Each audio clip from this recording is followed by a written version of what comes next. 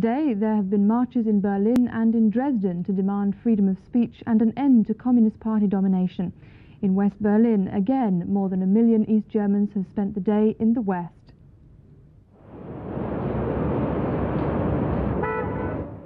West Berlin's traffic almost came to a standstill today in some areas as hundreds of thousands of people went Sunday driving to see for themselves many of the 22 crossings now open along the wall.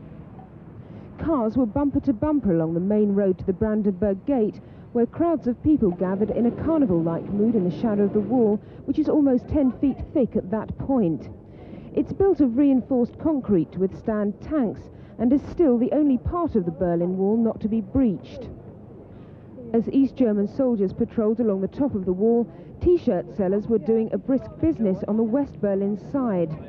There are now many souvenir T-shirts available to mark the opening of the wall on the 9th of November, and overnight someone even changed the name of the street sign to commemorate that date, which is now firmly fixed in German history.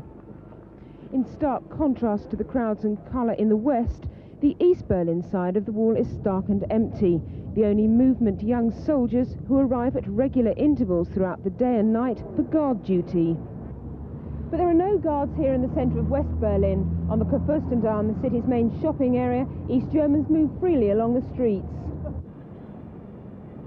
Although most of the major department stores were closed today, the smaller specialty shops and roadside stalls were open for business. At least one million East Germans came to West Berlin over the weekend and another four million into West Germany. Top of the shopping lists were electrical goods, particularly cassette radios and players, tropical fruit like pineapples and bananas, and coffee.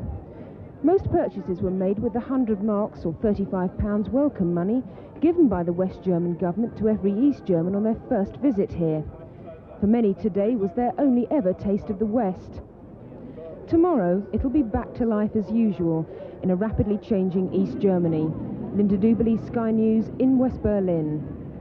In Czechoslovakia, up to 20,000 people have marched through Prague calling for the leadership to resign. It's the third such demonstration over the weekend. There were brutal scenes at Friday's rally after police moved in. Early reports said one young man was beaten to death, but official reports deny any fatalities, and now a leading dissident has been arrested for allegedly fabricating the story.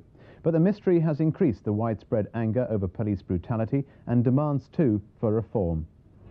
Today's mystery follows the massive demonstration in Prague on Friday, the largest seen there in 20 years. Early reports from human rights activists said a 20-year-old student, Martin Schmidt, was killed there. Now there's confusion over whether anyone died.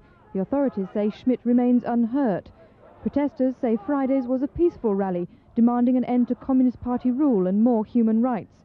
They marched to Wenceslas Square, but as they reached its centre, riot police moved in with dogs, truncheons and tear gas.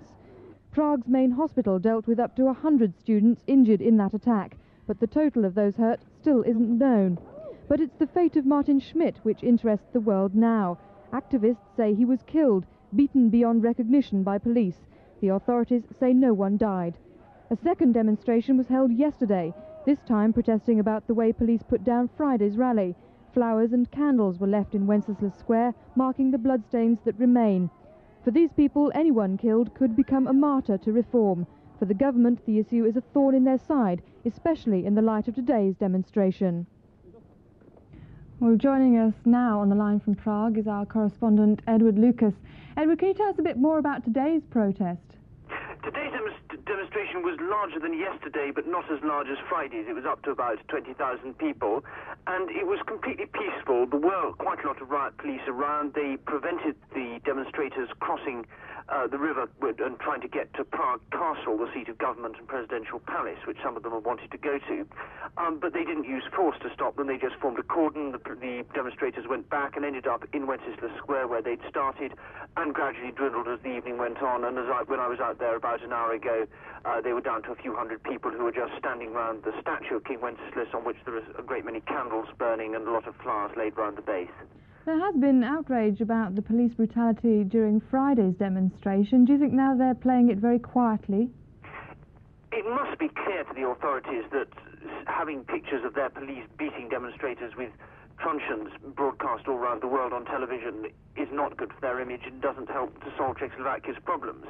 On the other hand, they also face the danger that if they, they allow these daily demonstrations to continue, they may accelerate, and certainly um, yesterday's was a small demonstration, today's was bigger, and the demonstrators were chanting today. Tomorrow it will be the whole of Prague, or everybody in Prague, and there does seem to be a, a feeling that with the student strike starting, because the students have gone on strike for a week and say they're going to um, boycott all classes and occupy buildings, and they've issued a list of manifestos, and the actors have gone on strike, and most, of, most if not all of Prague's theatres are now shut, with the performances being replaced with what are in effect political rallies the opposition, the, the authorities are facing their most serious political test for 20, 20 years. No one can quite see what strategy they can use to deal with it. Can you clear up this confusion about whether a student was actually killed on Friday? No, I can't, and I don't think anybody else can either. The authorities have said that there are two students called Martin Schmidt, and both, they're both alive the students and the protesters either say, well, it doesn't matter whether he's dead or not because the authorities were, because the police were so brutal. Some say there is a student who's dead and the authorities are hushing it up. Others say the full story hasn't been told, but just aren't clear what the circumstances are. The persistent reports of a student being brought into a hospital with doctors saying that he was dead. Uh, one quote I had was that the doctor actually said he showed no signs of life, so it's possible a student was brought in thought to be dead and then recovered, which would certainly explain would be one explanation. But it seems that the, the, the, students and the protesters have really sidestepped this. It did seem at lunchtime as though this was going to take the wind out of their sails, the authorities saying that basically most of the Western press and the dissidents had got it wrong in announcing the death. But people carried on wearing their black armbands and black, uh, black, black ribbons and just transferred their anger from the specific case of the, of the death or not death through to the general and unquestioned issue of the police brutality. Right, obviously remains a confusing matter. We'll bring you what news we hear on Sky News. Thank you, Edward. It was Edward Lucas in Prague saying the Czech authorities are facing their most serious political test for 20 years.